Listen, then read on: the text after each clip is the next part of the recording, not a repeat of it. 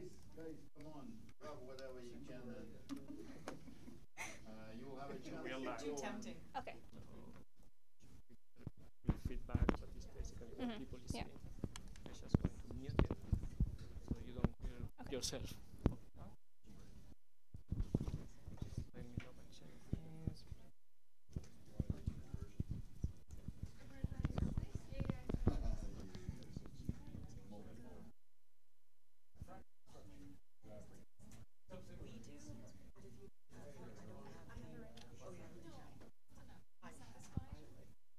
Like only because that's what we know.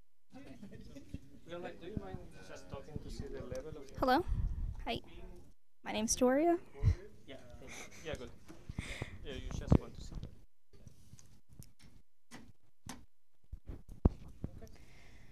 Okay, hi guys. Thanks for joining the session, and for all of you who are behind the screen, thanks for joining in. Um, sorry about that. We're running a little bit behind schedule, but we'll just get right into it. Um, so first off, my name is Joaria. I'm the director for Data Science Education at STEM Fellowship. So you guys are gonna be hearing a lot from me throughout the challenge. I'll be sending out emails, notifying you of what's going on, things like that. Um, so before we start, we would just like to acknowledge that the land we're standing on today is the traditional territory of the Mississaugas of the Credit, Huron Wendat, and the Pute and the Petun First Nations, the Seneca, the Anishinaabeg, and the Chip the Chippewa, the and the Haudenosaunee peoples, and is now home to many diverse First Nations, Inuit, and Métis people. Um, so first off, I'd like to invite Glenda Casimir, and she has been working at Let's Talk Science as a manager for community development and emerging opportunities. Um, she's completed a bachelor's in ecology, so please join me in welcoming Glenda Casimir. Okay, well, thank you for having us. We're very excited at Let's Talk Science to be partnering with STEM Fellowship to offer a big data challenge. Whoa, that's a large name. Um, we think that the uh, group of students that are actually coordinating the event are really enriching the lives of youth, so the ones that are here and listening online, and really showcasing the importance of analytic skills and um, and digital literacy in general, to be honest. Um, it aligns well with Let's Talk Science's work, and we're, we're very excited to be working with them this year and to hopefully help grow um, big, uh, big Data Challenge even further across Canada um, based on some of our networks as well. Uh, just a little bit about Let's Talk Science. So, we're a national charitable organization, and we're um, essentially trying to increase youth development through STEM or science, technology, engineering, and math skills. Um, and and uh, and learning. So we deliver uh, programs. Oh, sorry. Do I use the slides? Can I just click through them? Sorry. Okay. Um, so we deliver programs both uh, in person and online. Uh, in person, we have about um, 4,000 post-secondary students across Canada and about 48 different universities and colleges that really go face to face to youth and their educators in their own communities um, to deliver STEM outreach. And we also offer professional learning opportunities to educators in person as well. In fact, we have a big data um, session this year to align that aligns very nicely with the work that's happening here as well. Online, we actually also offer a growing number of programs and resources. Uh, Curiosity is actually an example of that. So there's articles, career profiles, videos, and they're all directed to students, typically grade 8 to 12. Um, and then we have learning resources for their educators um, in a in a login sort of uh, fashion as well that supports that that um, information. Uh, we also have a number of um, citizen science projects. Uh, so we actually um, are very passionate about bringing research into the classroom and actually having students measure or test or somehow connect to research that's happening um, in sort of the in real life situations. So Tomatosphere, for instance, is one of them where we send up tomato seeds onto the International Space Station. Um, it's exposed to space uh, conditions, and then students test those seeds um, against control seeds and to see if the germination uh, is affected by it. That information gets to the University of Guelph and others who are actually um, researching that information so that we can see if we can survive on Mars, essentially. Um, so the newest one of those, which aligns really well with the Big Data Challenge this year, is Living Space. So this project is um, really a combination of um, both coding and um, research skills as well. Um, it is we're doing it in partnership with the Cana- Canadian Space Agency and in part uh, funded by the Government of Canada's CanCode project. Um, it aligns really nicely with the topic that you'll be learning about today that the Big Data Challenge is also focusing on. Um, and really in this in this project, um, they're using custom sensor arrays and microbits to measure temperature, humidity, and carbon dioxide conditions in classrooms. Um, they are determining whether they should um, make some sort of intervention within their own classroom settings and then retesting that information. And then they'll be comparing it to the conditions um, on the International Space Station that's being measured by David St. Jacques while he's in space. Um, so they're sort of learning coding along the way using the equipment that we've provided and um, and looking and it's really just another way of looking at environmental conditions and our health um, just like you're going to be doing in this other challenge as well so really just to that's sort of just a snippet about um, let's talk science and how we got involved with big data challenge and with stem fellowship. Um, really that digital skills that you'll be developing through the big data challenge are really critical to canada's future. Um, analytics big use you know use of big data sets is really crucial in trying to um, come up with the solutions to many of the problems both critical issues as well as more um, local issues as well. And to be honest, you're um, a small set of students who are learning this who will actually have a lot of uh, skills when you come out of this challenge so that you can apply them to other situations. So thank you for having us.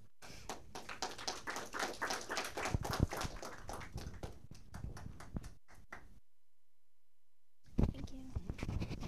So next up, we have Dr. Daniel Gruner. So Dr. Gruner has 20 plus years of experience in working with a variety of programming languages, parallel computing, scientific modeling, and more.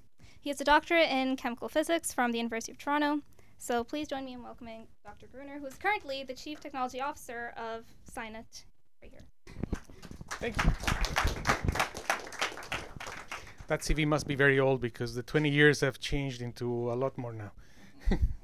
I got my PhD about 31 years ago now, so.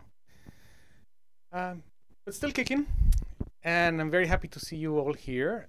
Uh, I don't know how many of you are remotely listening, but welcome and welcome too. Is anybody here a repeat offender? Somebody who's been here before? No, you, not you. I'm, I'm talking about the students. Who uh, have you participated in previous years? All right, so you, I guess you like the uh, the work. Um, seriously now, uh, this is the fifth year we're doing this, and uh, and it's been growing and it's been getting more and more interesting, and the uh, the results of your work, you know, as as students taking on the challenge of of uh, data science uh, are just fantastic. I mean, the insights you gain, the all the thought process that goes in your heads, that's what really counts. And so hopefully you'll be really enthusiastic. And and this today's I, I don't even know if we have uh, slides about this, but somebody else will tell you more about the the challenge itself, the data sets that. Uh, that you should be working with or the general theme i'm you know i'm, I'm a little lost about that um, I don't know what exactly has motivated you. I would love to hear your thoughts, your uh, the reasons why you're here, other than maybe oh my teacher told me to come. Can you share some some thoughts, some ideas? Why why did why are you here? Come on, don't be shy. Could be. I mean, you can tell me I'm a geek and I love this stuff, or uh, or I love the challenge, or I love the theme or anything. I don't. You know. Prizes. I mean, everything is yes. All right, improve analytical skills. Who else? Which is? Okay, so a data scientist in budding. All right, very cool. Who else? Even if your mom told you, it's okay. All right, no sweat. Uh, yes.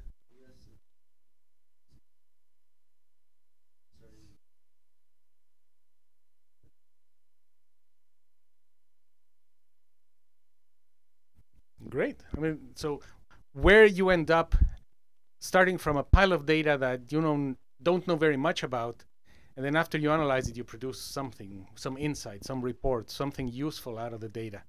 Well, that's great. That's what it's all about. Um, data science, as you know, is, is a growing field, and it's also um, really in need of more people studying this. It doesn't matter what your field of study is. You can be studying humanities or social sciences, and you still need to manage your data. You need to be able to do statistics. You need to be able to understand what's going on. Say, for instance, you're interested in social networks. You know, what good are they besides, you know, seeing pretty pictures of people and food and and dances and music? There's the insights you can gain from them. You can gain insights from Twitter, from Facebook, from anything, all the information that's around us, and it's humongous. Uh, obviously, we would like to make use of, of the information for the betterment of humanity, the betterment of society. So um, you know, people are using data that's available to understand medical issues, to um, you know, hopefully provide better health care to people, to um, fix what's wrong in cities, you name it.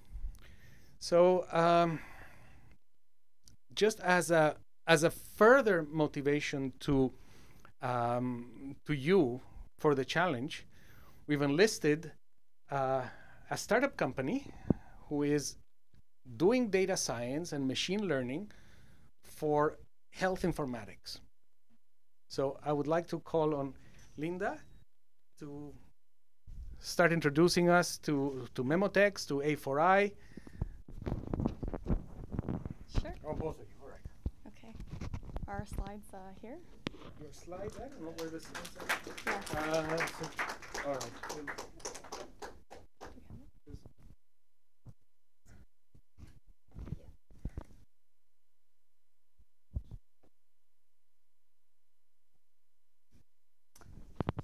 Okay, so hello everybody.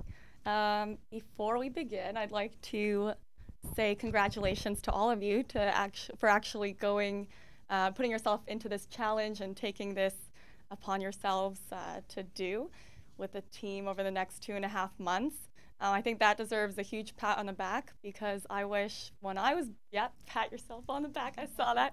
Uh, I think I think that if this was around back when Marina and I were in high school, we would have been really lucky. Um, now you guys are starting earlier and earlier, and data science has just emerged as a really big and promising field, very lucrative field as well.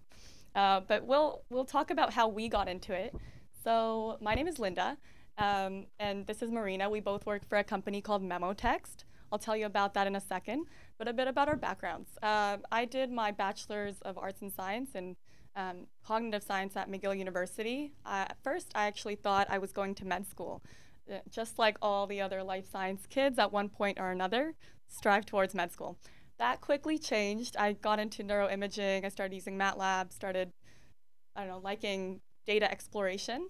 And after completing my bachelor's, I did a certificate in data science at Ryerson. And then right after that, jumped into the Master of Health Informatics at U of T. Um, and now I found myself working for a health technology startup uh, where I'm analyzing data and actually creating an output and influencing people's lives. So I'll just pass it off to Marina to talk about her background. All right. Hello. So I'm Marina. Um, I took a different route uh, into data science, as I think uh, right now, because it's such a new field, everybody's kind of happenstance falling upon it in a lot of different ways. Um, you guys are lucky that there's actually now programs uh, curated to prepare you for the field, and that's that's uh, really excellent. And we wish we probably both had those opportunities in high school. Um, so I went to Queen's University for uh, biomedical computing. So it's a computer science degree, but I focused on like medical imaging and MRIs, radiology, CAT scan, and coding um, interfaces for like surgeons and stuff to use, and how they would, um, you know, deal with patients and and all of that sort of stuff. And then um, I really, really connected with the healthcare aspect of it and how um, how much work needs to be done in healthcare in Canada, even in Canada, um, and all the technology, how far behind we are. So I was passionate about that. And that led me to Master of Health Informatics. So the same uh, master's program that Linda was in, she's one year before me. And then uh, my internship led me to Memotext, and that's how I ended up at the startup. Do you guys know what you want to be when you grow up? You said you want to go into data science? Mathematics, yeah. Is anyone else headed towards data science degree maybe? No? Hands? Yeah, maybe? Okay, cool. Computer science. Computer science? Yeah. Okay, cool. Many different options. Nowadays, data scientists come from all over, like life sci, business, finance. Huge portion are, are computer science as well, apparently. Yeah, yeah. Any field math. Except us, you know, we all, we all came from the hard sciences, and then happened yeah, physical sciences as well. Okay, so I'll talk to you about a little bit about what MemoText does. Oh, got animations. Okay, so these are kind of three main things that we do. The first one is digital patient engagement. We basically build um, digital health programs to interact with patients, and we can go through a number of different ways that you see there. We can go through SMS, we can go through email, uh, interactive voice response calls, chatbots, um, etc. And so what we try to do, we actually started off as a medication reminder program way back in the day, um, but we've evolved into much more than that. So the stakeholders and the you know the customers we work for, um, they they care things they care about things such as health coaching, care coordination, so appointment reminders, um, and so we've worked in a variety of different areas. We've developed these kinds of programs for uh, heart failure patients, type 2 diabetes, glaucoma, um, schizophrenia. I'll get into a little bit more of that later. Um, but the whole goal, the whole goal of our programs is to digest as much data about the patients as possible and then try to action that data so that they meet some kind of health goal. That second point there, machine learning. So we use machine learning in our intervention design, um, trying to figure out which patient populations we should target. Um, and then the last one, um, innovation, where we have a spin-off, spin-off company called A4I, that's App for Independence, where we've created an app to help people with schizophrenia. So basically, we try to partner with um, different health providers to kind of leverage their expertise and create more companies. So that's those are the three main things. Um, how we do what we do.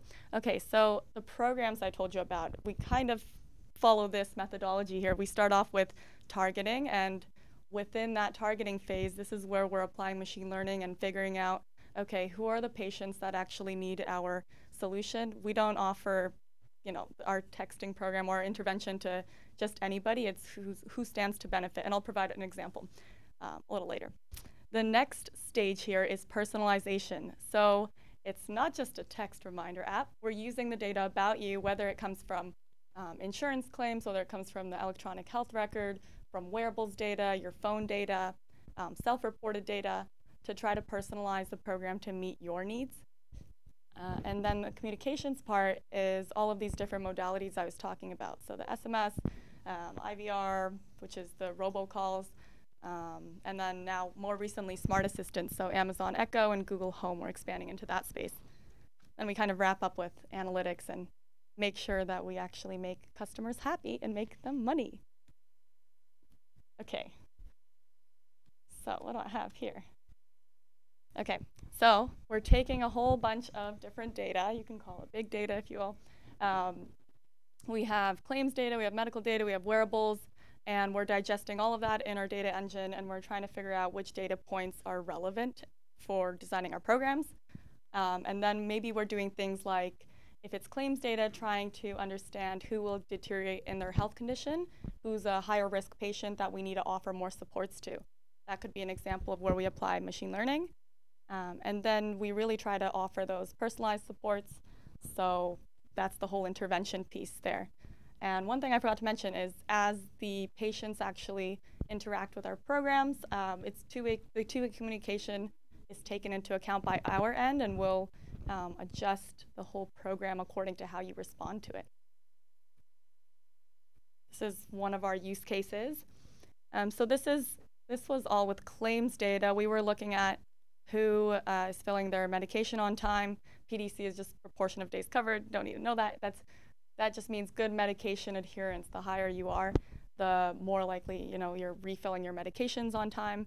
Um, and we've created different profiles. I don't know if you can see that there of different adherence trajectories. So if we see that someone is coming onto our program and they're more likely to be uh, let's say, um, okay, a waffler type. Is it up there? No, that's an adherer type. Okay, they're a non-adherer. They have a poor adherence history, and they're predicted to become a poor adherer going forward. Maybe we'll um, use our program to deliver more um, educational content, more um, content about changing their beliefs surrounding their medication, try to get them to take their meds on time. So, really try to cater to their needs and help them meet that health goal. And this is the, and I think I have a demo. Oh, no. Okay. Demo should play. No. Okay, this is the company, the spin-off company that we have, A4I. So we've developed this mobile health app to help individuals living with schizophrenia and psychosis. And really what we're trying to do is be able to collect enough data about these patients to eventually predict who will relapse and go back into hospital. Um, there's not a lot of act- uh, there's not a lot of mobile technology solutions out there for this space, so we're one of the first to be doing so. Um, it's really a support tool for the patients and a way to provide feedback back to the providers um, to tell them how their patients are doing over time. So that's that. I'll pass it off to Marina. Thank you. And so um, I'll talk about a little bit outside of what we do, um, kind of what excites us about data science. So, one uh, industry leading example is Netflix. So, if you think of the amount of users that Netflix has every day, they have 100 million hours a day of, of people watching their content.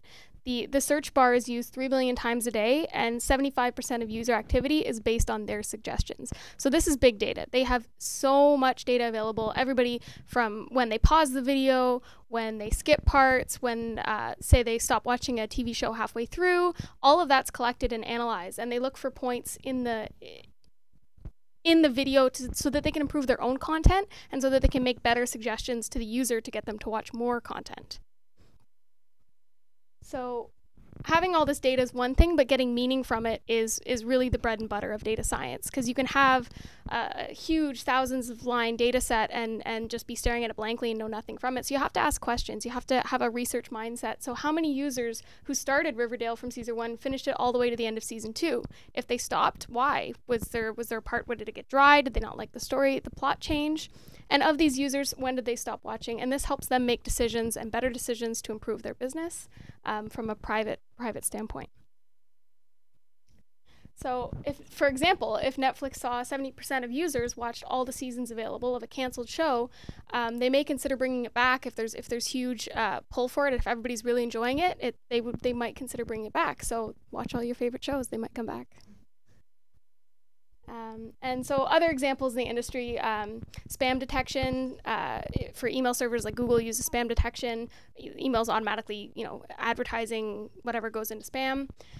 IBM Watson, uh, huge in personalized medicine, actually making helping physicians and radiologists detect cancer, uh, treat it, clinical pathways.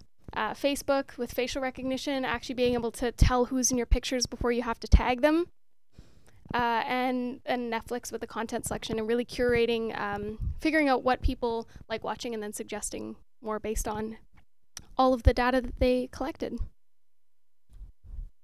So wh- why is it challenging? Well, it's you it's you can be looking at it very up close or you can be looking at it from different perspectives. So the, all the people around this elephant in this picture have a different different perspective. The one at the back says, "Oh, it looks like a rope," or "It looks like a wall," or "It's a fan, a tree." A house. So it's really hard to take a step back, but this also allows creativity. So everybody will look at a, a, a, data science problem from a different angle. Somebody who's in social science, or somebody who's in physics, or somebody who's in um, math would look at the problem differently. And so it's a great opportunity to work together with people in different fields and also uh, take a step back to see maybe what the root of the problem is or what other questions you can ask about the data set because you're only going to get out the questions that you ask. It's not going to tell you what the, uh, the end result and the meaning is. You really have to ask good questions to figure it out yourself. And that's it. Thank you.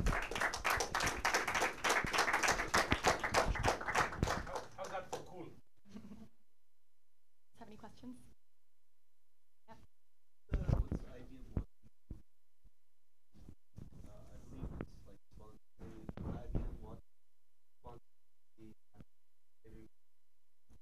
Yeah.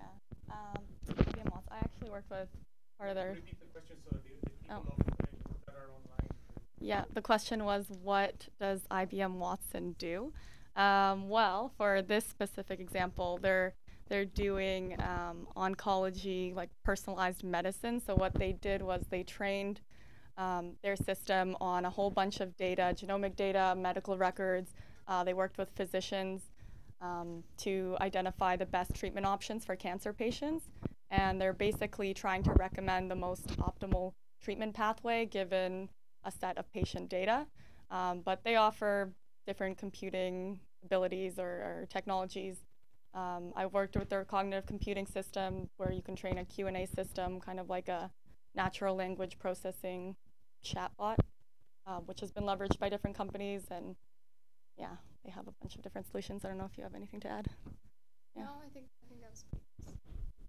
But basically, for the, for the oncology thing, the personalized medicine, they're saving um, a team of oncologists weeks um, what it would what it would have taken them to do to recommend a treatment pathway. What and it only takes about a couple minutes for Watson to figure out what the best route is. I think part of that also goes into image recognition, so like uh, radiology and X-rays and stuff. So really simple cases where a, a physician would look at that in 30 seconds, be like, okay, that's a broken bone, that's this, that's this. It it's being trained. It looks at all like hundreds and thousands of pictures of the same thing, and it's told that is what this is. Like this is a broken bone, or this is case A, or this is case B, and it can help actually. Um, get rid of those from the, the easy cases and then the radiologist can spend more time on the difficult cases or the complex cases that the computer may not have seen before or understand. So it's not to say to replace physicians but also to support them and to make their job easier and reduce um, some of their administrative work that they have to do with the easy cases. So there's but it they're doing lots of hackathons because they're they are big in the field of AI and machine learning and they're they're industry leaders. They have a lot of money to spend and they're they're very active in the field for hackathons and stuff. Their hackathons are really great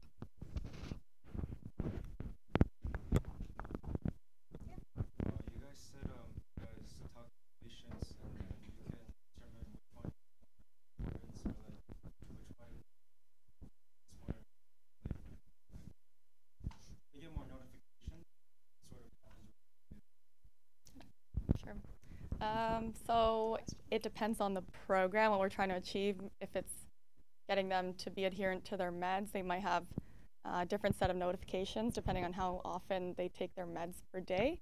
But uh, we're not we're not trying to fatigue them with all these notifications or alerts. We're really trying to contact them at the right time with the right content and you know to the right person and the right method. That was little pitch there for you. But uh, yeah, so so as we learn more about the patient as they interact with the program and you know we see maybe we're collecting wearable data and, and they're not as active as we'd like them to be we'd push out a bit more um, you know lifestyle focused content or activity focused content that'll help them get more active um, so it's, it's really personalized to the individual but yeah we don't spam yeah again dependent on the program we've run over 22 different programs They're, they've started some have started as pilot projects for like six months um, some have continued on for two years, so anywhere from like 50 people on one program to, you know, to 2,000. But so that's not where the big data is coming from. We're doing independent machine learning as well um, with, you know, over I think millions and millions of claim records for um, hundreds of thousands of diabetic patients.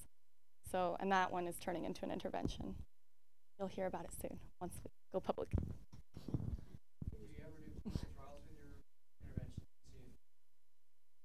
Uh, no, not with any of our current. Well, there was one before my time. We did one for glaucoma medication adherence with Johns Hopkins, um, where we were able to see a significant improvement in adherence for people who were on our program. Can't speak much more to that because I wasn't around back then, but um, as in with the company. Um, but we're, we're also going to try to do a randomized control trial with our A4I app. So we're going to be working with CAMH. Well, CAMH is actually the partner company of it's Memotext and CAMH. We've come up with this baby that's called A4I. It's our spin-off company, and we've used their patients to test the app on. And so we're going to have a control group, treatment as usual for schizophrenia, and then schizophrenia with the app and with a provider portal to see if there's a difference.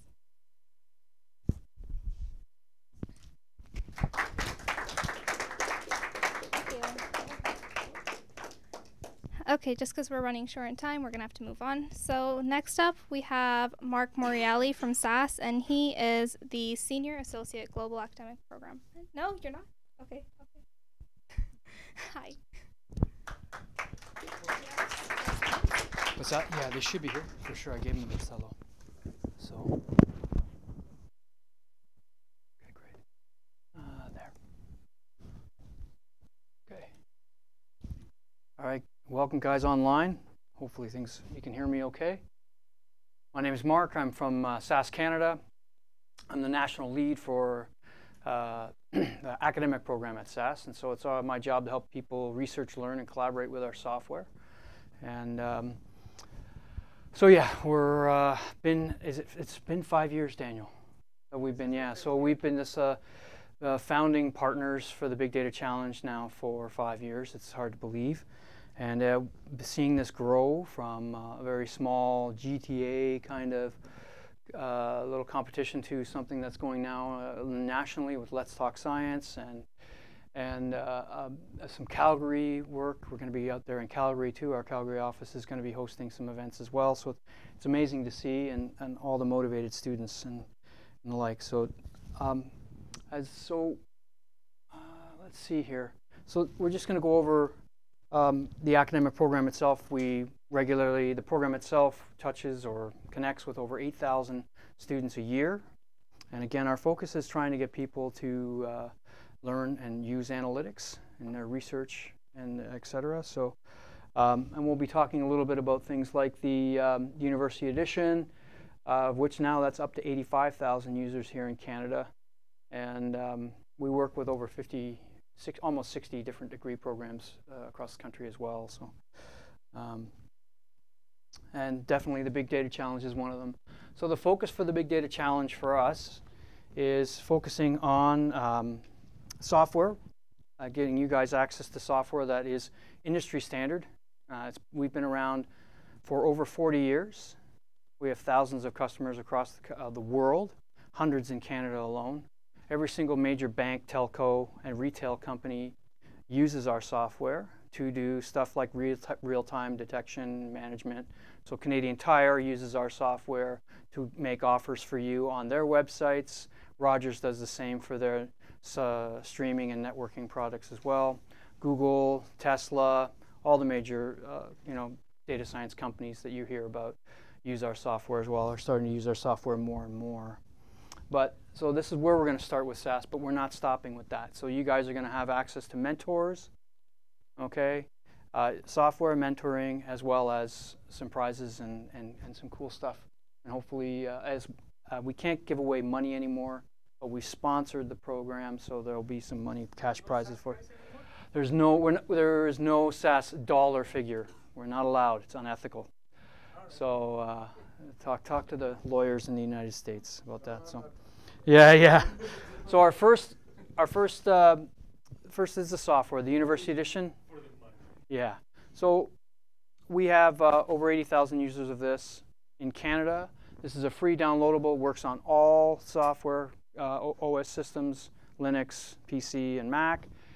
And um, this will be definitely can be a cornerstone for both your analytics and coding computer science programs. It is certainly at Earl Haig. And uh, we're hoping that teachers who are online can connect with us later on and find out how they can use it in their schools as well. Okay. Uh, this is very short. We, uh, there is a cloud version of our software that can be made available to you guys as well. It's called SAS On Demand. And I would focus on using the SAS Studio if you do do this. They're limited data storage. It's cloud. I think you only have about five megabytes, five gigabytes of data that's available to you to use on on the uh, on the cloud. So, but it is an interesting way to to see all the different programs that we use or that we have available. So, if you guys are wanting to learn SAS, both in your school, it is uh, still very much the number one analytics skill to have for, for if you want to get into business for sure.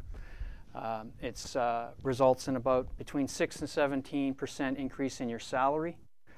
So uh, it can be a very interesting thing to have on your uh, on your uh, LinkedIn profile and on your resume. Okay, so that's something. So this is your first start here We have over 12 courses that are made available to you guys. These are professional grade courses where you'd be able to go through and use them. All right. Uh, as well as 200 free training videos. So these are definitely something where you guys, if you want to to analyze these uh, large data sets using SAS, you're more than welcome to do so. Uh, very important to note that SAS integrates with open source. And in fact, um, now we have a leading product where you can code in R, Python, Lua, and 30 other different uh, open source languages uh, as well. So it's very important to know now that the University Edition will work with the Jupyter Hub, uh, Jupyter Hub and you'll be able to code in R, SAS, and Python, which is a fantastic workbench because um, not all three of these languages are good at everything. And so, but when you combine them, that is a fantastic data science uh, workbench for you. And we definitely have a variety of ways to show you how you can do that right now. So, uh, certification, we talked a little bit about badges. Uh, these we now release these to all students and, and people who get uh, certified in our software, and you can put them on your uh, on your LinkedIn profile, which just seems to have taken over this the resume these days. So, so we've uh, got that as well. So there's other opportunities for you as high school students to get involved in more hackathons and uh, and research with SAS. Some of them are here. Um, we'll talk about the Student Symposium, which uh, winners of that or finalists of that would get a free trip, hotel, and registration to uh, this year it's Denver. Last year it was, no, sorry, this year it's Dallas. Last year it was Denver. Sometimes it's Las Vegas. This is our, um, you know, our key conference where five to 6,000 SAS users uh, come together and present. Great place for you guys to get internationally networked. Anyways, user groups. If these are also free uh, user groups, uh, there are three in Toronto alone where you guys can see what data scientists do. Where the rubber hits the road, really, it can they can be a little bit dry. So they get into the coding of their various algorithms and stuff like that. Uh, there are three. I said there's a health one, there is a data science, and then there is a standard SAS users. There's about 150 to 200 each user group. There's two of them each year. There's free food, free prizes, and things like that as well. So if you're wanting to see and get connected and uh, see what a career in data science is really like, uh, you guys can come check that out too. Alrighty, so, so some more resources. I am going to bring your attention to this website here, lexjansen.com. This is uh, kind of like a, um, uh, it's a library of about uh, 10 to 15,000. It's kind of like your GitHub for, um, for SAS. So it has a variety of different uh, specific use cases for SAS. and we're throughout the businesses, and, and, and show, it's, it's, it's great. It was very helpful for me when I was uh, uh, a, a, coder uh, way back when. I think that there's our connection. So it's very important that, uh, hold on a second. Yeah, that we make you uh, aware. You want to make sure that the people online and here connect with us. We'll connect you with a mentor and help, can help you regularly with your projects. I know Sasha and I have worked with, uh, our data scientists have worked with uh, Earl Haig in the past, as well as a couple other schools in the GTA. We're going to definitely be reaching out with Juaria for the Calgary office as well. They're going to be making their data scientists available for mentoring and things like that as well. So uh, these guys are uh, code in multiple languages. So don't just think it's just SAS. It's going to be Python and R as well. Okay. They're going to be methodologically very sound. Most of them have a PhD. Uh, so you're going to be uh, in good hands with uh, con by connecting with us, partnering with us. Okay? And that's it. Looking forward to seeing the results.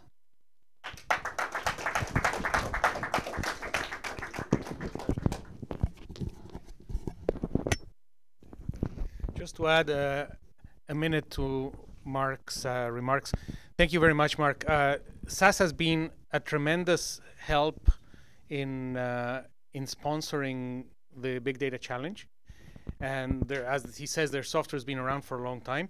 It's not the only thing you can use. You can use any other piece of software. You can use Excel if that suits you. You can use, although I hope you're you're going to do something a bit more modern, but. Uh, uh, we we also have a lot of resources available for you to tap onto uh, from our courses at SciNet. They're all online.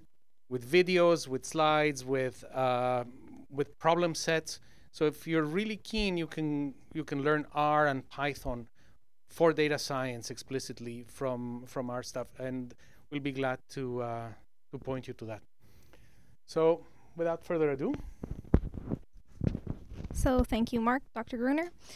Um, so now we're just going to take a 10 minute break so you guys can stop on refreshments. And before you guys break, I just wanted to let you know that we are going to be sharing the recording and all the slides that are here so you guys don't need to take pictures or anything if you don't want to.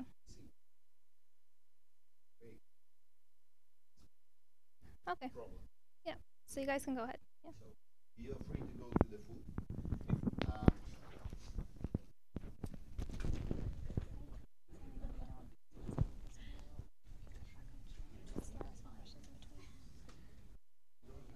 So you're suggesting that Just do it during the big data slides. okay. I think it'll be fine. You see, um, uh, somebody is uh, watching. Yeah, You can go ahead. I think. Do you want me to put on the slides? Uh, yeah. Uh, let's open the website.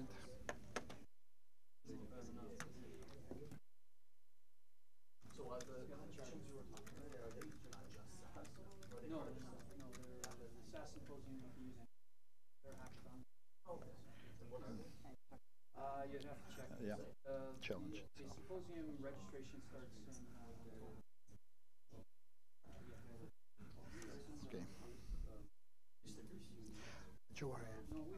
Um, can you introduce me as? Oh, yeah. one sec. Let me just get my notes.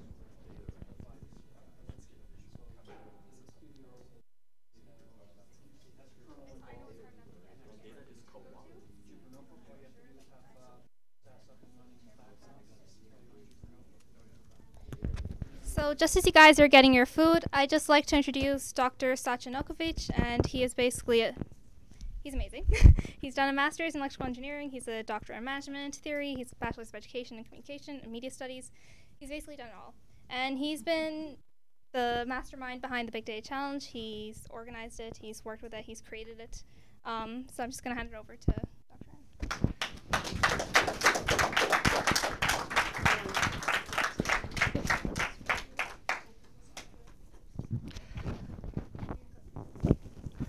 Uh, so um, uh, we will take this opportunity while everybody um, kind of, uh, and I understand that the students are coming from school and uh, they're hungry. So while you are uh, trying to replenish your energy, uh, we'll look into the topic of this competition. So um, we came with this, with the idea of this competition together with Let's Talk Science. And as you heard, Talk Science is doing a very interesting um, national uh, research project engaging students in the life space, uh, practically looking into what are the conditions uh, which will define um, long-term um, cross-planetary, maybe um, uh, maybe intergalactic flight. What are these um, environment? What are these conditions uh, could be? And this is um, a very interesting and practically. Um, I would say nearly impossible um, question to answer, especially if you would ask scientists. They have too much knowledge. But it is not a problem if uh, this challenge is given to students because they actually come with fresh ideas, and that's why um, we are um, expanding on this topic. And when the most of the experiment and the competition is focusing on the middle school and experiment and um, elementary school, um, the big data challenge is practically not exactly the similar question. It is a bit wider question. We are asking about living space. Uh, when you are given the data, terrestrial data from um, geostatic satellites, allowing you to see what is going on on Earth, augmented with all the wealth of open data you can find. You can find um, psychological, uh, you can find economical data on the municipal websites. So you can on provincial, federal websites are uh, absolutely great when you simply uh, searching open data Canada, you would uh, be exposed to wealth of absolutely um, data which can lead you in every direction possible. So with all this information in your hands, you are presented a question of big data de Terre. Um, you know, uh, I, I uh, unfortunately I would love to speak French, and some French uh, words are really um, inspire me. Um, do you, can you guess where this um, theme came from? What it reminds you? Pomme de terre, potato. So um, we actually played with words. We, we took a French expression, uh, well, not expression, French word for potato, and now we have big data de Terre, which is actually look and through, through a prism of big data on the earth and on the living.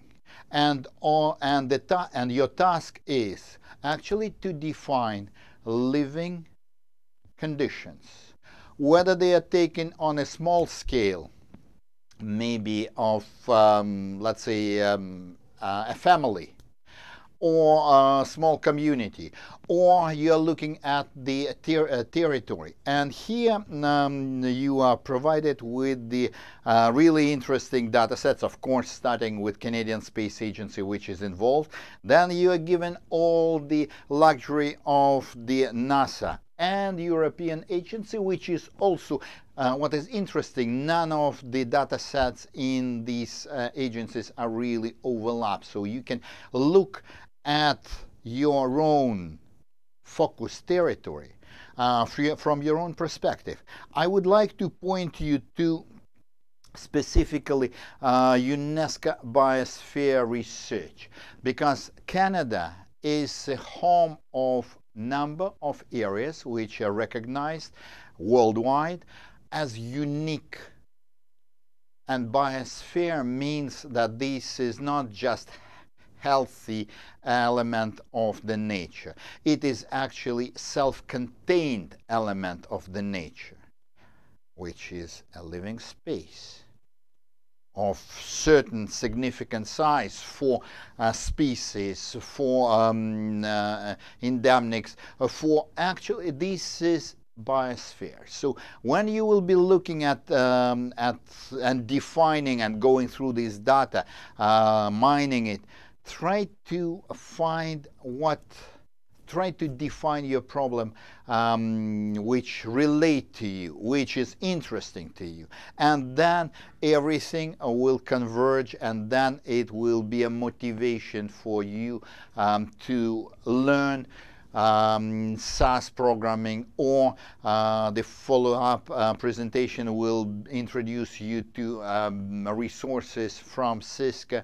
And of course um, you are um, STEM Fellowship will be um, getting you into um, uh, the workshops which were developed by students themselves for students. On the topics uh, just mentioned uh, here uh, and why I'm so uh, for the students um, or peer mentorship or uh, students for students learning because I believe that besides instructor education. You are the first generation which have an opportunity of um, non-course non-curriculum non-classroom um, learning and the acquisition of knowledge to the extent uh, sufficient practically um, to meet all the expectations. So you are the first generation of learners uh, which, um, which doesn't mean should survive without educational institutes. It's simply you are learning differently. And that uh, the whole competition, it is your experience in a new type of thinking uh, when we are declaring uh, that we would like you, if I'm scrolling in the right direction, actually I'm uh, going in the wrong direction. No, no again, uh, where is it? Oh, here it is. Uh, everybody talk about computational thinking. Uh, you do it. Everybody uh, talk about cognitive load management. You have to learn how to do it, or uh, otherwise you're struggling. Um, design mindset. this is what is um, naturally uh, you predisposition to this because you grew up with this amount of data. So um, this is the opportunity for you.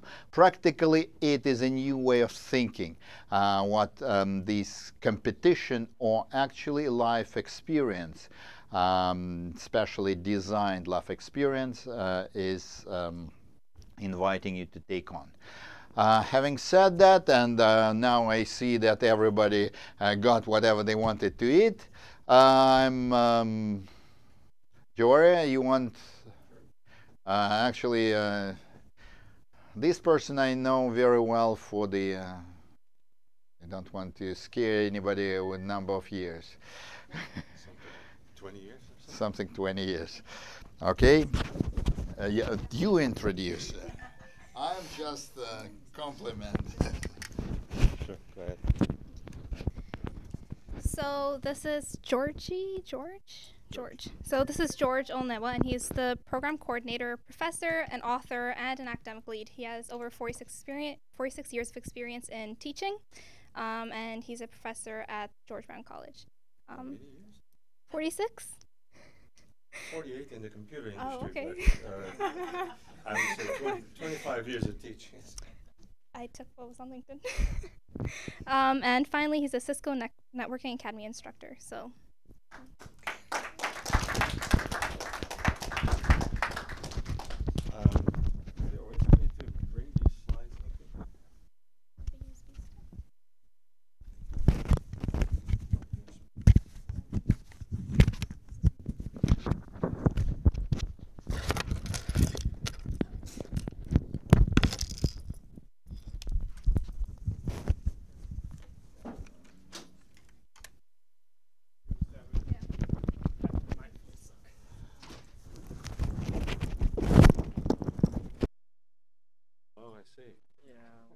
13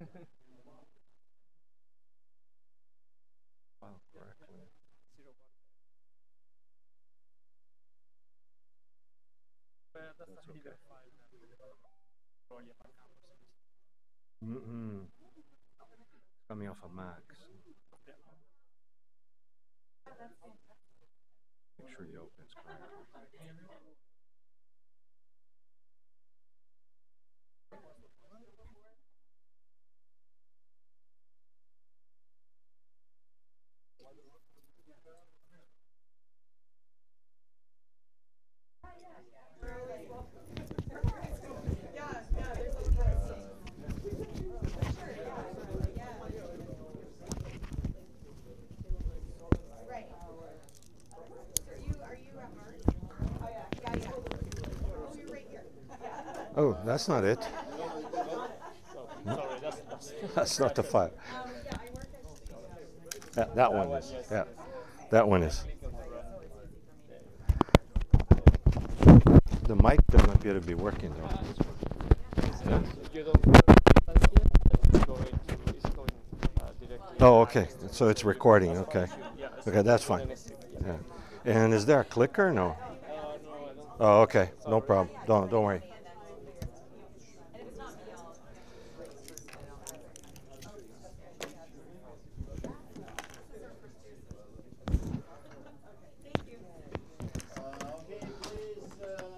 Whenever you're ready.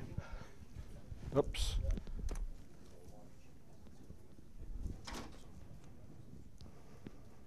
They're still hungry. Can you do it?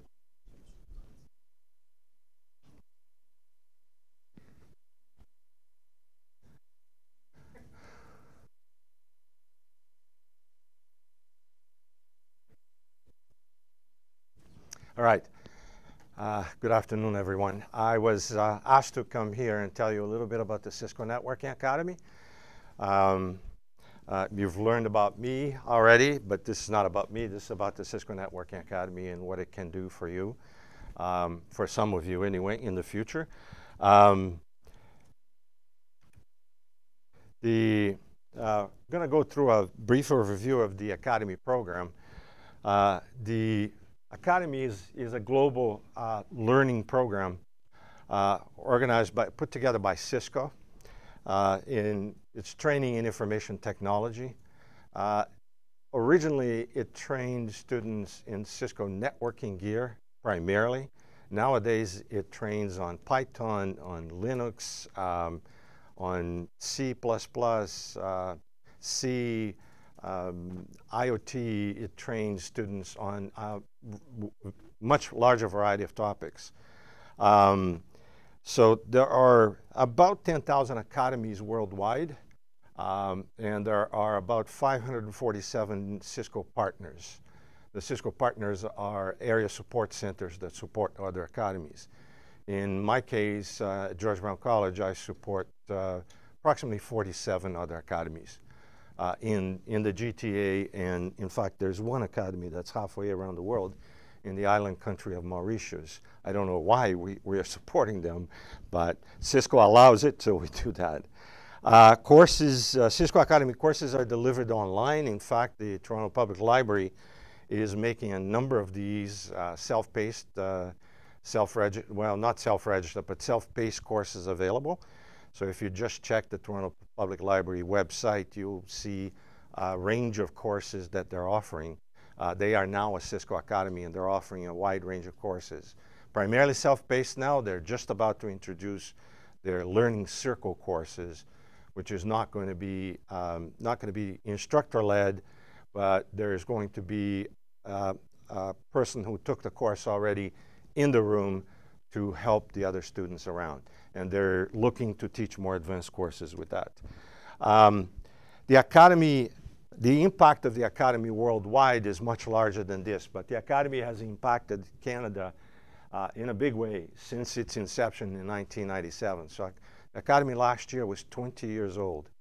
And I've been, as you heard, 48 years in the computer industry, and I have yet to see curriculum that teaches networking and that teaches other topics as good as the Cisco Networking Academy. Academy trained 27,000 plus students in Canada. Um, 200 plus academies in Canada is about 210 right now. We have 500 instructors in Canada, a total of 200,000 plus students enrolled in the academy, uh, 27,000 that are current students, 200,000 plus since the inception of the academy. Uh, and about 16% of those are female students. Um, so what the academy provides, high quality courses, learning tools, uh, a learning ma management system. Uh, for academies, it provides discounts on equipment so that they can, they can equip labs for the students, and the discounts are fairly substantial. They're in the range of 60 plus percent. So uh, instructor training, uh, instructor training is provided by instructor training centers. George Brown is one of them. In fact, it's the only one in this part of the in this part of Ontario right now. Uh, online teaching resources, uh, you can access your grade book, you can access the online teacher resources from anywhere in the world at any time of the day or night. uh, and of course online instructor and student uh, support. Uh, what the organizations that are Cisco Academies, and is your school now, Sasha, a Cisco Academy as well? Yeah. The TDSB is an area support center as well. They support all the schools in the GTA. So uh, what the schools provide is classroom space. Uh, there are some private academies as well. There are public academies and private academies. George Brown is a public, and so are the schools, the TDSB schools. Uh, instructor available to receive, instructors available to receive training and to provide training to students. Funds to purchase lab equipment, students, student PCs so that you can learn, and then internet access with sufficient performance so that you can access the academy. Um, this is um, just a, a, partial roadmap of the Academy. Uh, the Cisco Networking Academy teaches exploratory courses, and you can see some of them in there. Introduction to Cybersecurity, Introduction to Internet of Things, uh, uh, Linux Unhatched, Be Your Own Boss, Get Connected, uh, to foundational courses such as Networking Essentials, uh, Mobility Fundamentals, Emerging Tech. We have a couple of workshops that uh, talk about network programmability because today networks require a lot of in, uh, isolated hardware boxes to build a network. In the future, everything will run off a server and all network configuration will come, uh, will be programmatic. So uh, cybersecurity essentials, IoT security, IoT fundamentals, uh, IoT big data and analytics as well. Uh, um, and then uh, there is a hackathon playbook that supports hackathon for students. Uh, CCNA routing and switching or Cisco Certified Network Associate routing and switching, uh, and a number of other courses. Uh, a lot of these courses, the Python courses, for example, and the C courses are created. The C courses are created by the, CIS, the C Institute, and the Python courses by the Python Institute. The NDG Linux courses follow the Linux Professional Institute uh, certification track and so on. Um, there's just a quick description. There's a lot of text in here. I'm not going to try and read it for you. Uh, this information is available online on the net. It's netacad.com on the Networking Academy site. Uh, there's course resources in there. Um, so uh, the Python, uh, the programming essentials in Python, and there is an, a, more advanced Python course in development right now. Uh, IoT fundamentals, connecting things. Uh, Cisco provides a prototyping lab that you will see coming up in a future slide, but there's a prototyping lab that works, um, works together with Raspberry Pi and Arduino uh, and sensors and things. and IoT big data and analytics. Um, sorry, let me just go. Um, Cisco has a packet tracer, which is a network simulator. Uh, the network simulator started out being able to simulate only networks. Nowadays, you can add IoT uh, devices, you can add single board computers, you can add uh, microcontrollers like the Arduino. Uh, and when you add those, you can also add sensors connected to these devices. Not only that, but you can program in Python and JavaScript within Packet Tracer without ever touching a piece of hardware. It's a really, really nice simulator. So it works really well. If you register in Networking Academy, you can download a copy of Packet Tracer for free. You need an account in the Networking Academy, but you can download a a copy of Packet Tracer for free. Experiment with it. You can experiment with a single board computer without ever touching. You can prototype your, your, your device with sensors and everything without ever touching a, a hardware, piece of hardware.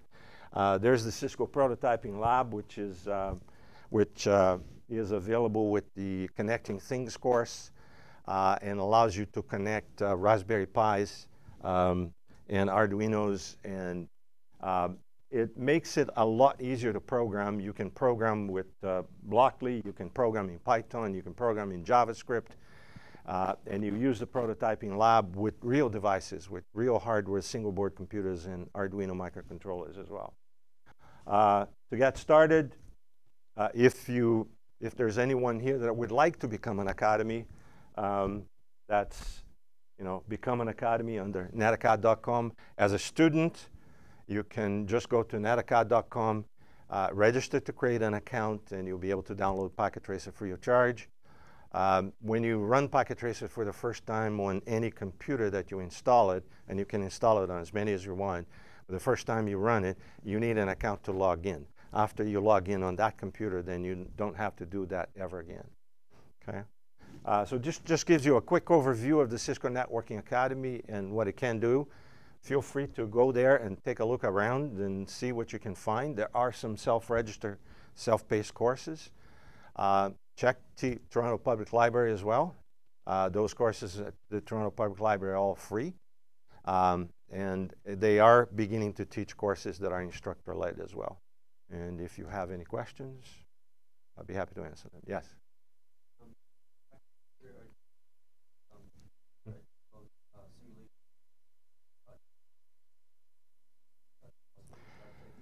I don't remember.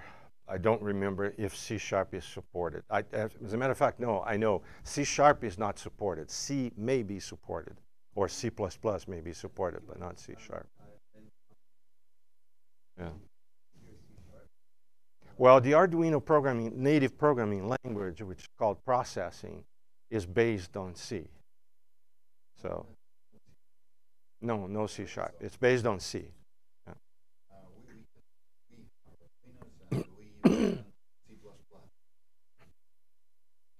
yeah.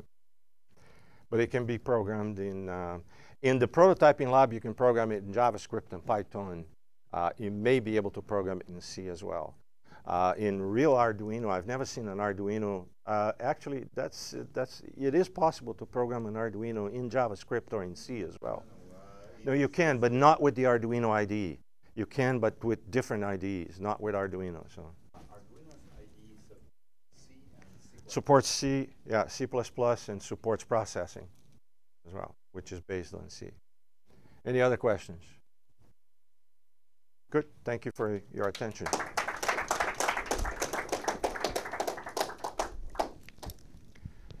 You have a copy of the presentation over there.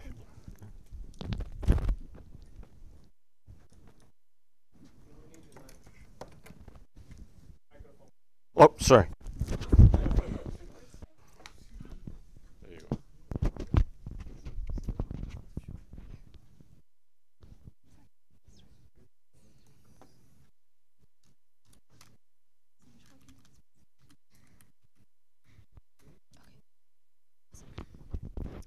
Okay, so this is where the slides are going to slow down a little bit because this is where we're going to break down how the challenge is going to work. And feel free to just stop us if you have any questions.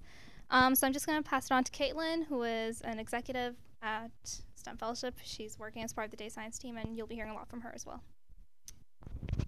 All right, thank you, Joria. Uh, is the mic working? Okay, sounds good. Oh, Yeah. okay, sounds good. Um, Sorry. Uh, yeah, I'll just start. Okay, so now that you've heard from our, some of our partners about the workshops and the resources that you're gonna have access to, let's take a look at what the timeline looks like from now to the end of the competition, right? Because I think that's what everybody's interested in. So essentially, we're in like the pre um, competition dates right now. This is when you have the orientation, and after today, you'll be invited to register online at Eventbrite to register your team and pay the registration fee.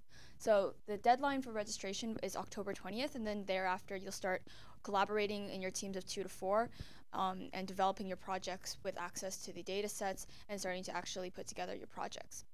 Um, and on January 19th, that's when your reports are due.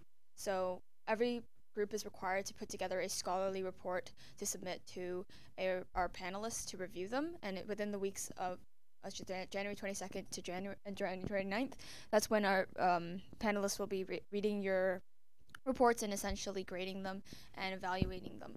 So when we get to February 4th, that's when the finalists will be announced. And we have 10 finalists for Toronto and 10 finalists for Calgary um, who will be invited to Big Data Day. just to backtrack, um, regarding the review of the project submissions, they'll be done by a panelist of PhD reviewers. So um, we will be providing you with the appropriate um, report writing formats so you don't lose marks there. Yeah, and I believe a rubric will also be provided to you on what criteria these individuals are looking for. So then, after the finalists are announced on February 4th, um, you'll have to prepare an oral presentation for Big Data Day on February 21st, in which you'll present your project. All right, so the registration process is fairly simple. You um, try to find a team of two to four. We encourage you to work within teams because we think there's something to be gained through the collaboration process, and we believe that you can put together a better project when you have more people to sh- share ideas and kind of bounce off of. So that's why our minimum is two people and our maximum is four members, just for um, facilitation of that. All right, so you can go to our um, STEM Fellowship website under the Data Science Education tab, and you can check the, the Big Data Challenge for high school students. And underneath there, you may have already taken a look at our website already to register for this orientation. And at the bottom of the page, there's the challenge registration. And if you click that link, it'll lead you. Oh, I guess we don't have a picture of it. Okay, it'll lead you to our Eventbrite page essentially, where the price to pay for an entire team is $125. So whether you're registering a team of two or a team of four, it's $125, which is including tax. And on the Eventbrite page, you'll provide information about each individual member of your team. All right. So the data and tools that you'll have access to will be distributed through a Google Drive. That's where we'll be um, sending you, well, I guess sharing you the data sets that we've provided from our partners from the Canadian Space Agency, ESA, and NASA. Oh, yeah, you can see them on the next page. Um, and essentially, that's where we'll be putting any tools or resources that you'll need. Additionally, we'll have our workshops on GitHub, so you can access those as well and we'll be communicating with you guys through Gmail in the beginning of the competition, but then afterwards we'll move to Slack where we'll be doing a lot of the collaboration and feedback um, there. So there will everybody, all the um, all the participants will be there, where you can um, communicate to each other, get feedback on some of your code, and to collaborate with others and get some advice.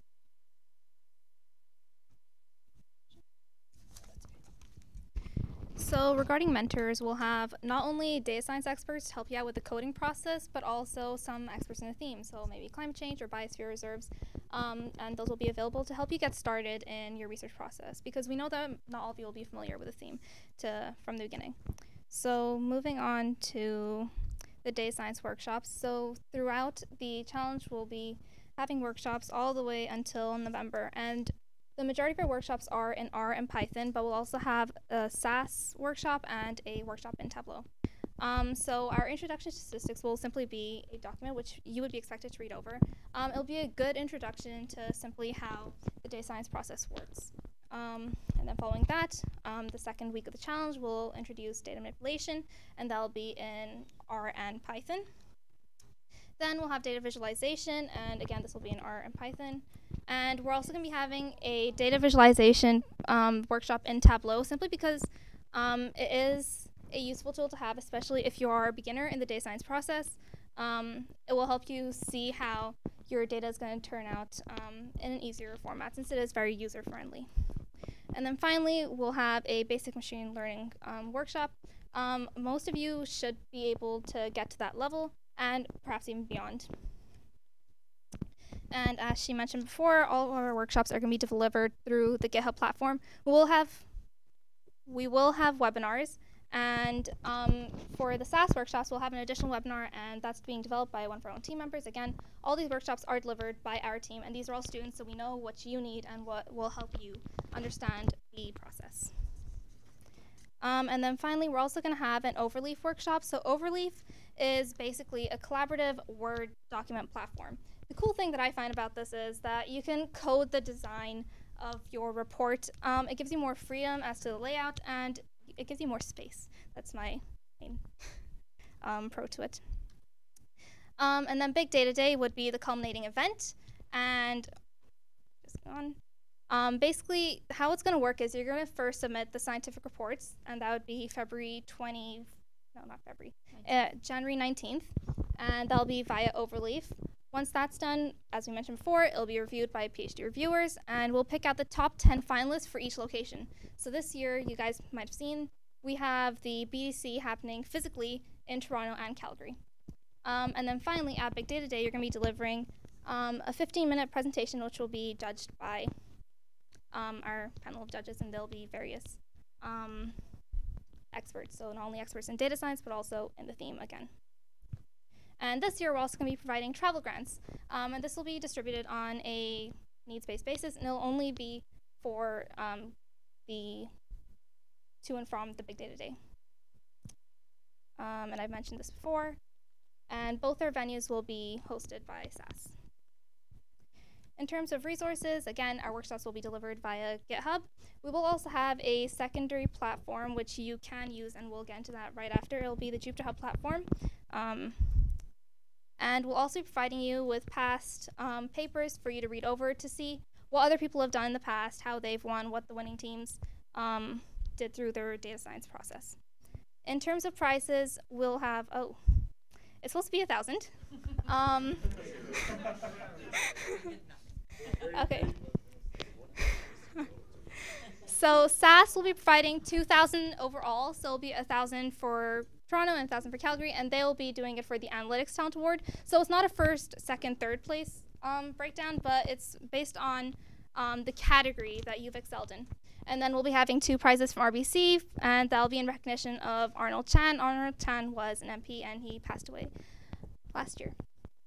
And then we'll have one more um, prize from Digital Science, and that'll be your Scholarly Communication Award. Digital Science is basically um, they ha- they look over they overarch Overleaf, so Overleaf is under them.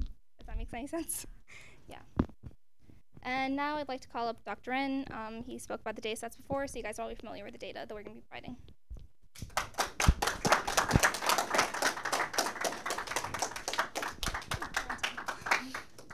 Bring girls with your teams, okay? you have to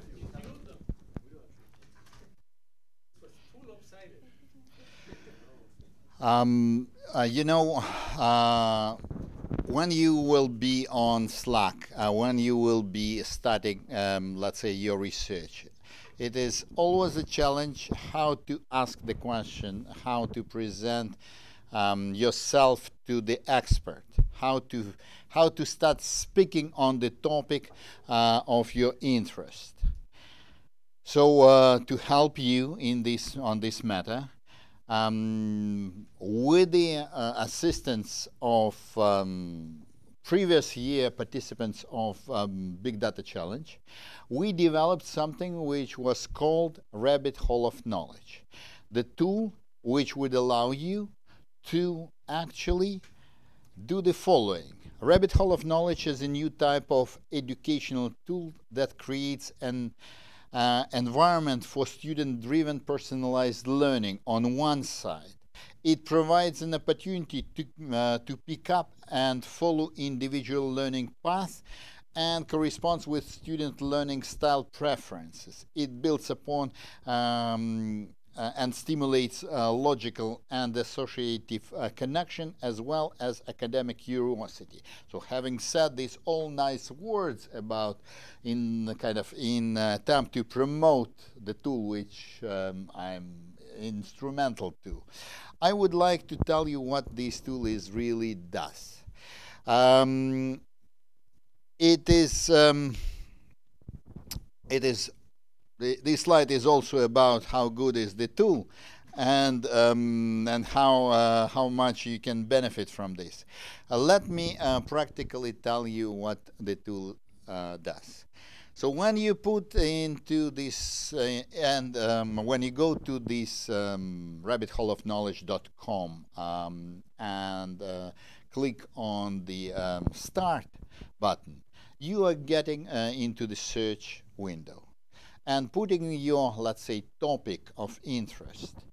Uh, following this topic, the tool will go and find through the biggest databases of uh, scholarly publications the highest relevant um, papers uh, on this topic. So practically we are working with Altmetric and dimensions. The databases which are um, also following the impact factor of the research. So you, uh, the tool will pick up the most impactful research. But instead of dumping on your poor heads uh, these scientific language and all the power of academic research, the tool finds internet reflections. It finds blog posts, it finds um, YouTubes, it finds uh, news stories which followed these academic papers. And as a result, you are presented the rumors of the biggest academic research papers on the topic, which would allow you to get your own idea of this topic, to get yourself into the language of this um, subject matter, and prepare you to ask questions and to prepare you to go further uh, because every link which will, will be there will have actually a hyperlink to the original research paper in case you would like to go further and deep. Uh, the way you will see um, tool presenting everything to you will be in a form of a word cloud like this and you will in, there won't be any guidance for you uh, which one whatever word will kind of resonate with you with you you will click on it and it will you will click on one you will click on another. And practically this is the way how you can get started. And that is the purpose of this tool to get started uh, on the uh, topic and get ready to start asking questions in terms and uh, with the language appropriate uh, to expert you would like to reach to. So um, rabbitholeofknowledge.com. And on this note,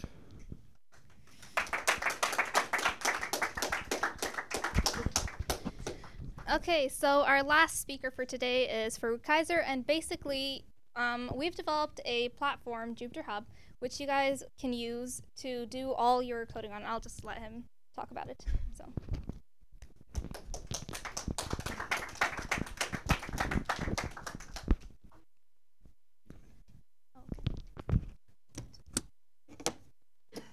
One second, guys.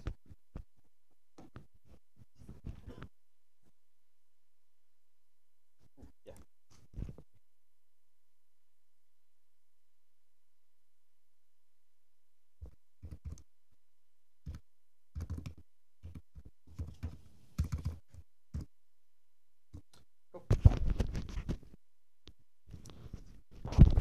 Hey guys, uh, just to quickly introduce myself, I'm Farouk Kaiser. I'm a data engineer with BBM. I lead Data for Good in Toronto, and I've been asked to help out STEM Fellowship by building them a Jupyter Hub platform that will help you guys be able to actually do your coding in Python, R, or whatever without actually having to install anything on your local computers.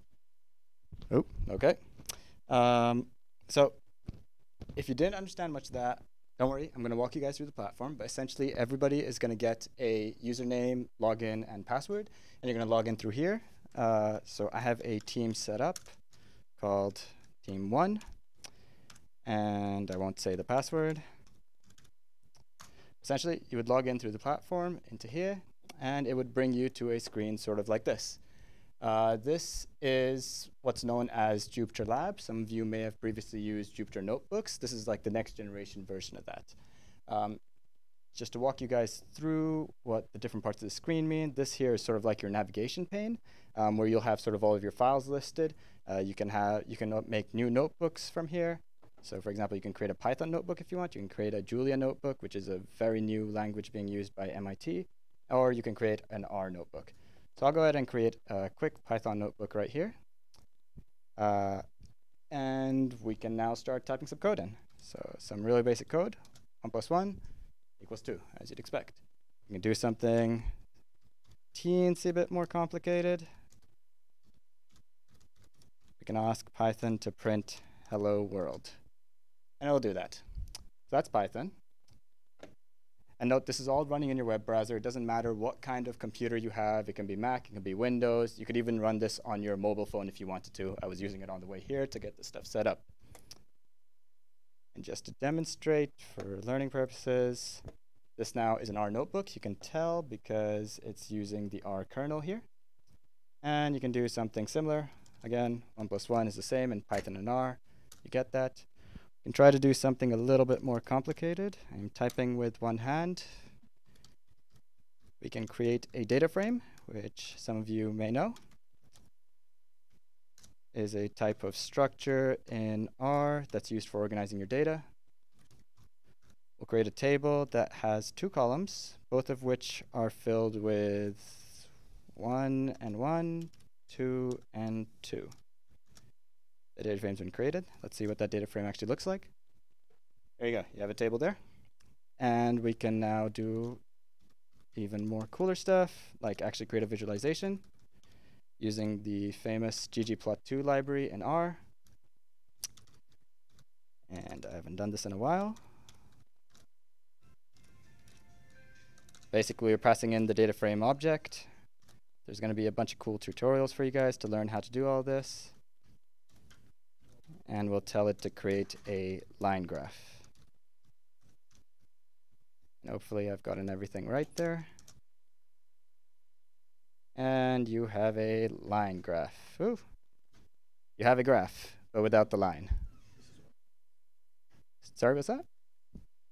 Um, this, so how does it work? Have every single language in one little frame?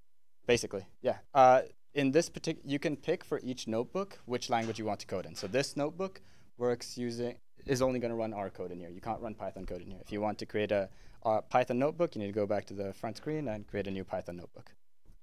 Yeah. Oh yeah, please feel free to interrupt me if you have questions. So that's the first thing. Uh, you'll all get this link to be able to connect up to this platform as well as login details at the start of the competition once you've signed up. Uh, if you feel more comfortable using the more classic interface, that's also available. I don't recommend it. it looks kind of ugly, uh, but that's there as well. You can also upload data onto this platform. It's pretty easy. In this old interface, you just click the upload button, and I don't know if there's a file here that I can just upload. Mm. Okay, I don't see any files. I'm not going to go looking through somebody's laptop. Uh, but yeah, you can upload data and it will be automatically available to you guys in here as well.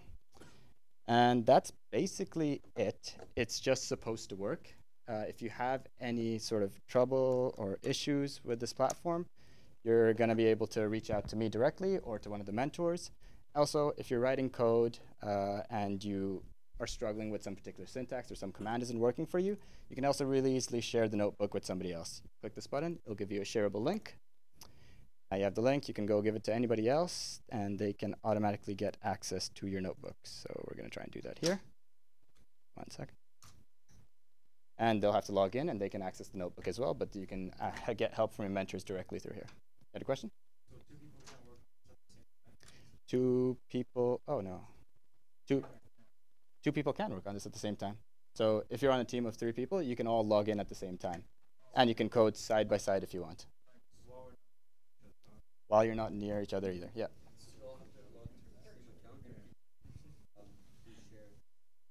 You're, the idea for this was to give you guys, each member of the team, the same login username and password, but it is possible to give people individual accounts. I don't think that would be particularly useful if you're on the same team right? Because the idea is you all would work on the same notebook probably. Another questions? The other cool part about this is all of the materials, like the GitHub workshop materials, will be available directly on this platform. It will be in this, it will be in a folder like this, 2019 BDC workshops. And every time you log in, it will be automatically updated with the latest materials. So if you're now in week 10, maybe we'll have week 10 materials up here as well. And actually, this is a great place to show you guys some of the other stuff this can do. There, you can also open up data in here. This is showing you the actual Excel file that's being provided with this challenge, I guess. You can open up pictures. So if you're doing some kind of image type analysis, you can upload pictures onto here and then start analyzing it right in here. Uh, and then, of course, you can open up one of the example workshops. So here's one of the workshops that's provided. It's, I think, very preliminary, week two data handling. If all the data is here, we can end up reading it. Mm. Yep. Oh, dear. Oh, the data isn't provided here. Let's see if there's one that actually has data with it.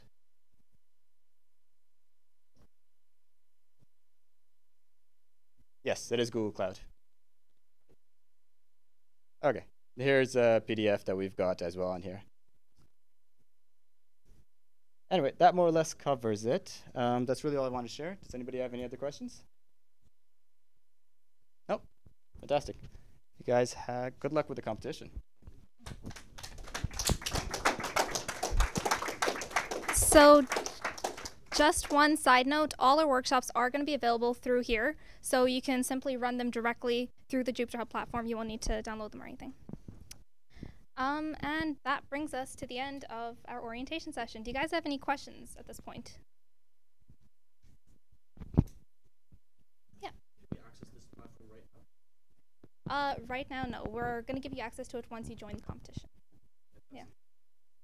October 21st. Yeah. Um, there's no questions.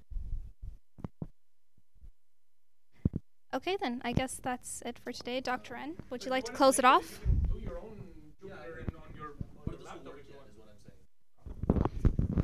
Um, so,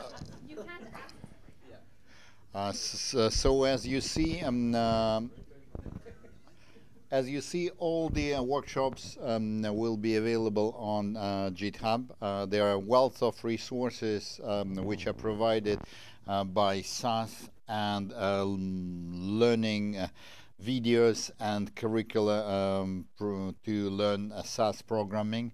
there are also resources similar to um, help with the um, Python and R, which can be accessed through SciNet uh, from University of Toronto. Uh, overall, um, we are uh, adding on this platform because it is uh, practically a way to put everybody on the same platform, regardless of your um, tool, regardless of your device you have. So all the teams will practically uh, be um, on equal ground um, with this platform. Um, if they want, they will have uh, access to um, to the tool set simply online uh, with either even Chromebook or tablet uh, or cell phone um, anywhere in Canada.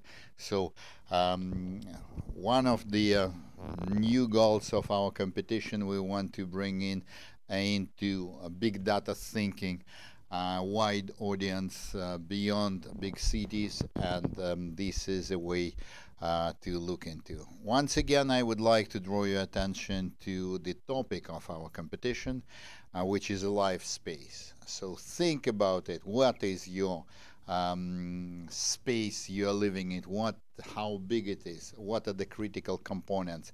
And with this question, uh, it can be a question you can be looking not just at uh, where you live um, physically. You can be solving a problem um, globally. You can be addressing somebody else's concerns um, and practically coming with solutions um, for international problems. So um, whenever you feel a critical uh, topic, that is the opportunity to um, address it, and it is uh, goes from the health issues uh, to humanitarian um, issues. So the scope of this life space goes uh, from sustainable development and environment uh, to society so and economy so all inclusive uh, or if you would like to get focused on some specific uh, field, uh, that is your opportunity. So um, simply to add on, um, I don't know, it, it's probably, maybe I simply need to reemphasize uh, the overleaf, it is the academic um, world recognized scholarly collaboration and writing platform. So for all the participants in uh, the competition, their abstracts are published. So you are getting your first scholarly publication by simply participating in this and coming to the uh, end with the research project submitted. And of course, uh, we encourage you to get your projects uh, to the level when they will be selected by, um, um, let's say, uh, biggest experts. So we we hope and we have um, we were assured by NRC. Uh, we, um, uh, like you heard, we were assured by SAS. We are assured by our, our friend here at SciNet. Um, they all will be involved in a review of student papers, something what is not always available even for university research. So on this note, I'm um, I'm inviting everybody to form the teams uh, because teams it is a way of winning. Uh, I highly respect the intellectual capacity and abilities of every participant of uh, this competition. But uh, this world is built on the crowdsourcing of knowledge. And when you are a team, your task is much easier. So, based, well, on this note, I am inviting everybody to register and uh, join the competition. Thank you.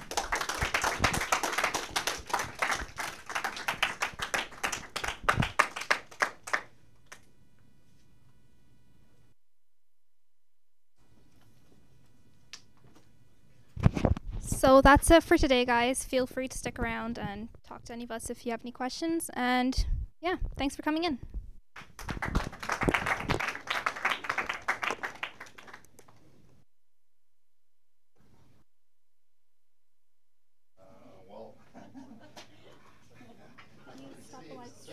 Hmm? How do you stop the live stream? no idea. I was gonna say. I was gonna do that. And then just. Pause the video. Just pause the video.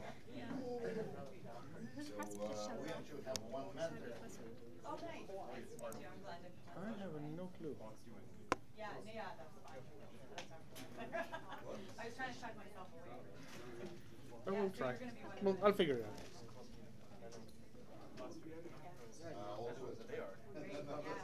Yeah, yeah, yeah, yeah. And where, where do you stem from? Where, are you student?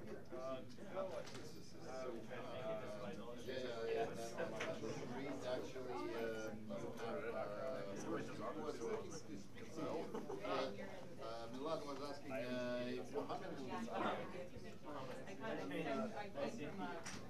You don't remember? Hey, Dr. Gruner, is it? Hi, yes. I'm Farouk. I'm Jerry's big brother, I suppose. yeah. Um, do you know how to stop this? I have no clue. I stopped the live stream? Yeah. I would be guessing pretty much.